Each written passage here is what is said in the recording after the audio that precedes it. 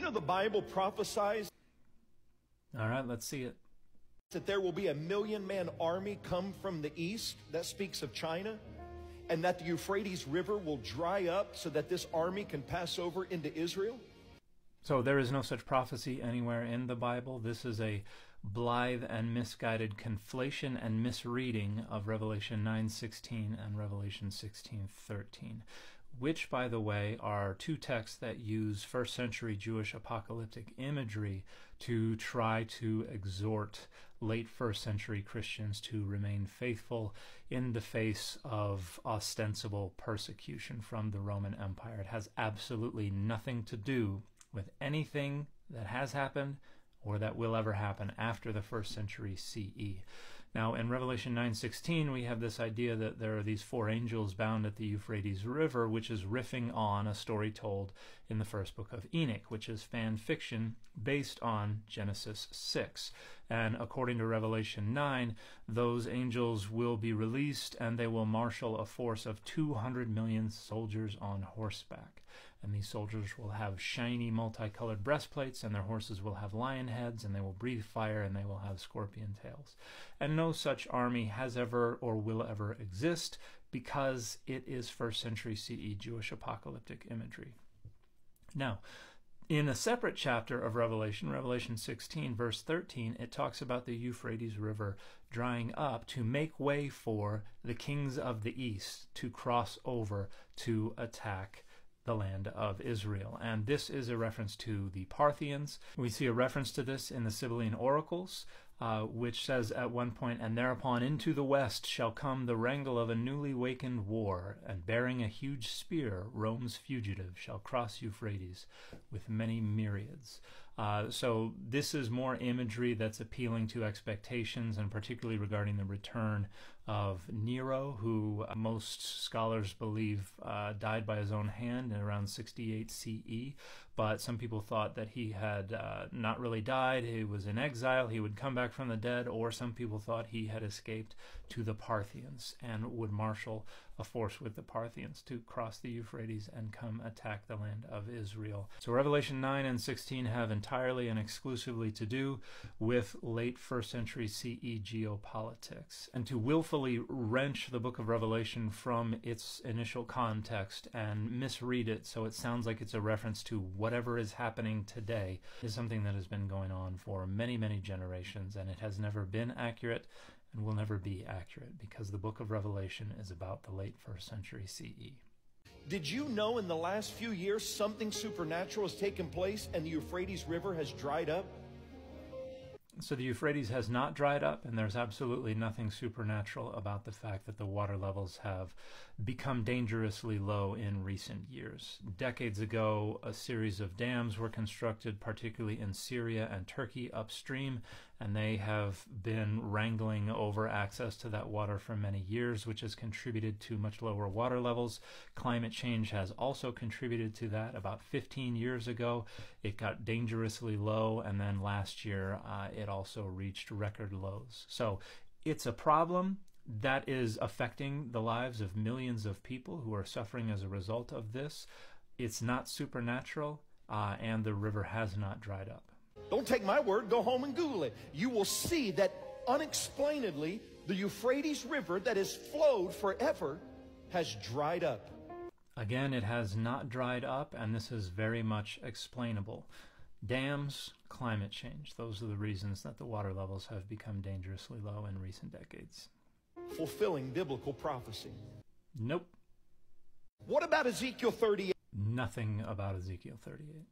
Ezekiel 38 talks about two countries, Gog and Magog. No, it doesn't. Verse 2 has the Son of Man turn his face against Gog of the land of Magog.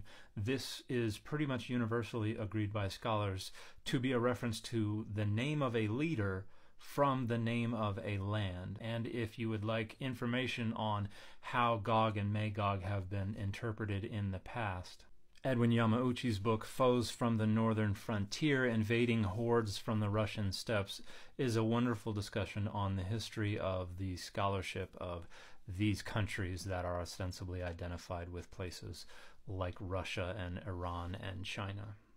The Bible, before it was even in existence, prophesied Russia.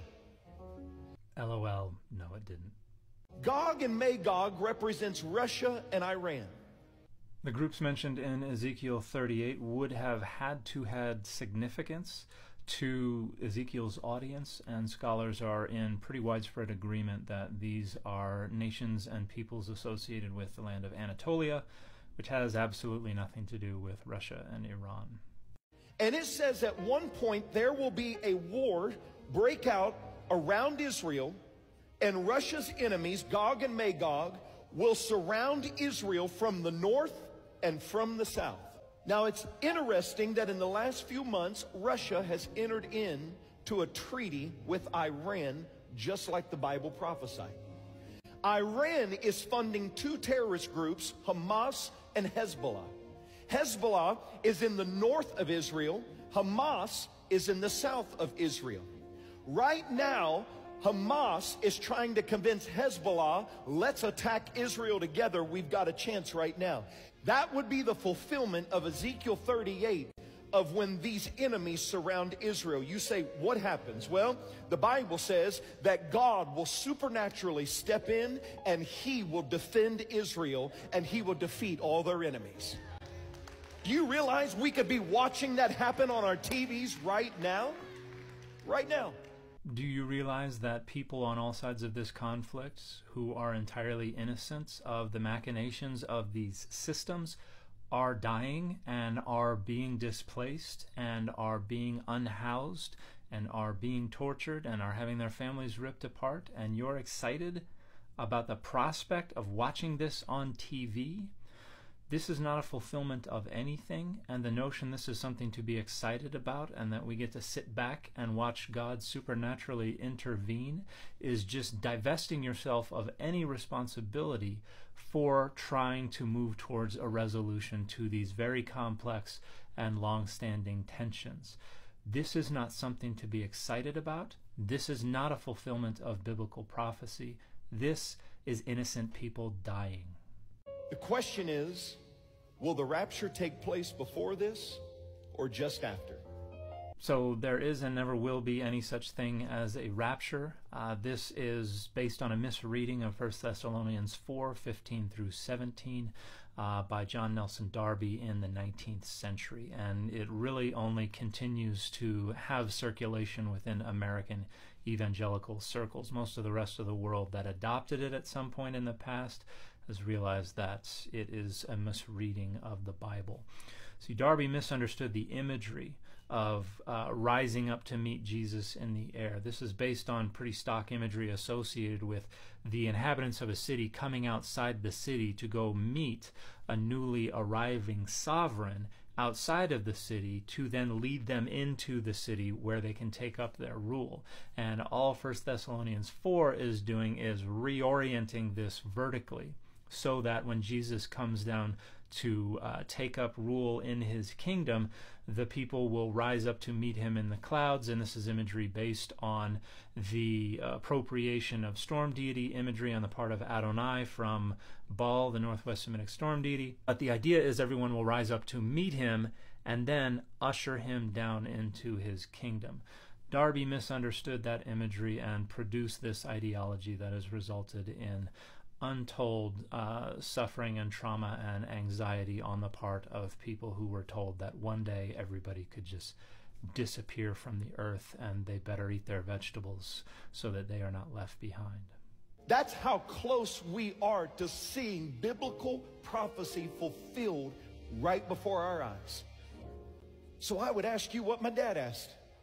If your heart were to stop, or if the trump of God were to sound, would you be ready to stand before God?